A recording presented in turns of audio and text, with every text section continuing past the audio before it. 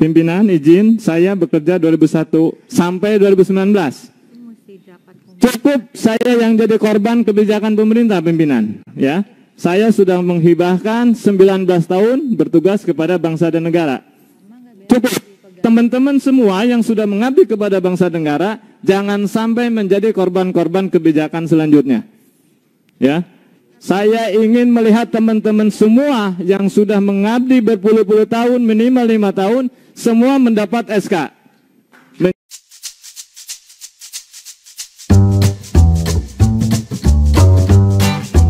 Terima kasih. Pada intinya, kita sebagai warga negara Indonesia semua berhak mempunyai hak dan kewajiban sesuai dengan amanah undang-undang.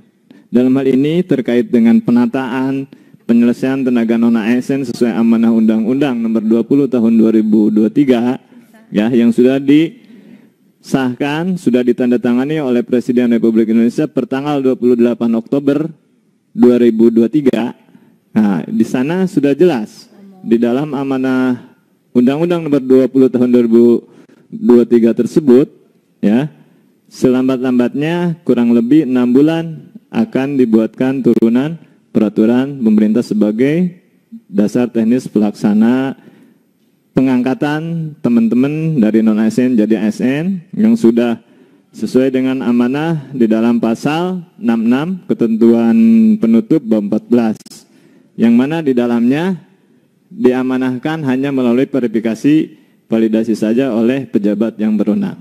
Tetapi dalam kondisi yang terjadi sekarang, kenapa pemerintah dalam hal ini eksekutif sebagai mitra Komisi 2 DPR RI ya dari Kemenpan RB ada skema paruh dan penuh waktu.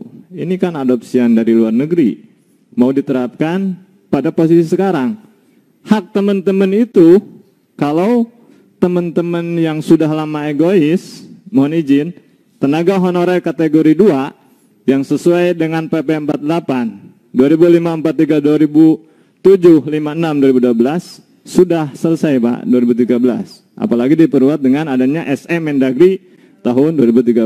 Selain itu tidak ada lagi istilah tenaga honorer. Maka ada peralihan Undang-Undang Kepegawaian menjadi Undang-Undang Nomor 5 Tahun 2014 yaitu Undang-Undang Aparatur Sipil Negara. Sekarang dirubah lagi, ada revisi ya. Jadi permasalahan-permasalahan yang memang sudah lama sampai saat ini negara belum mampu untuk menyelesaikan. Apalagi semua mempunyai hak yang sama. Ya, dalam hal ini kami dari Aliansi Honorer Nasional mohon izin pimpinan ya.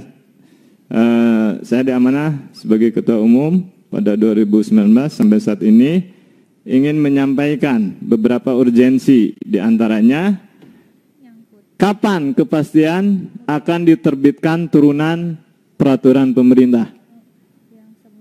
Itu sebagai dasar pelaksanaan pengangkatan teman-teman non ASN jadi ASN. Apalagi dalam kondisi politik sekarang, jangan sampai teman-teman jadi korban lagi pimpinan. Ini akan menjadi berdampak. Karena setelah undang-undang ini betul dijalankan dengan ada dua turunan PP Manajemen PNS dan Manajemen P3K, per 1 Januari 2025 negara sudah tidak ada istilah di luar ASN tidak ada istilah honorer A, B, C, dan sebagainya. Yang ada adalah status ASN PNS dan P3K. Ini nyawanya ada tiga bulan lagi pimpinan. Nyawa teman-teman.